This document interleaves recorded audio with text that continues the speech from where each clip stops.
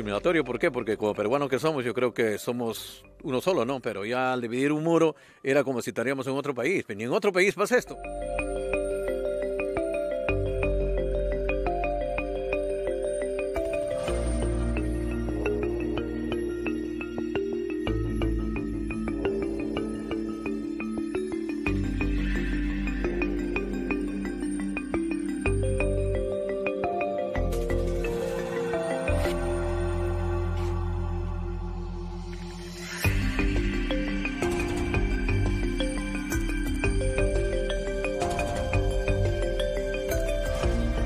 Es inconstitucional porque afecta el libre tránsito, pero además lesiona la dignidad eh, de los vecinos, tomando en cuenta que se trata de una división de límite a límite, ¿no? Y que separa a dos eh, grupos o sectores sociales que no deberían existir.